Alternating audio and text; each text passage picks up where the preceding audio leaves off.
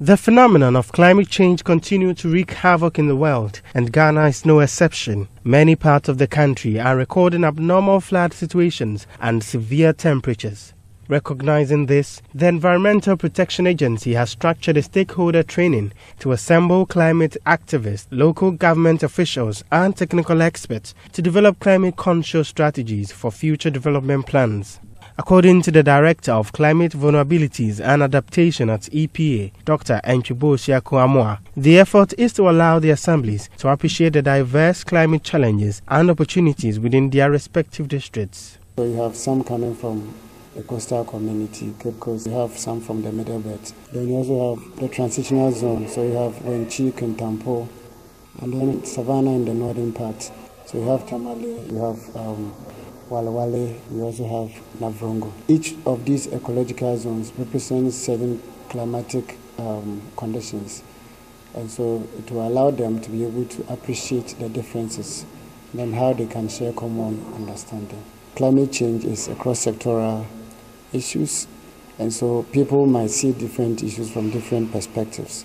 The workshops, which cover a range of topics including vulnerability assessment and climate finance access, sought to equip participants with real life representations of technical knowledge of climate change issues. The participants were taken on a field visit to Fawadi in the Bekwai Municipal Assembly to ascertain the uncovered pits of illegal mining in the area and their repercussion on climate. The team also checked on some areas in Anyuan Kwanta where there have been perennial floods due to the Oda River overflow. Dr. Antwi-Boasiako indicates the field visit will inform future support to helping vulnerable communities build resilience against the adverse effects of climate change.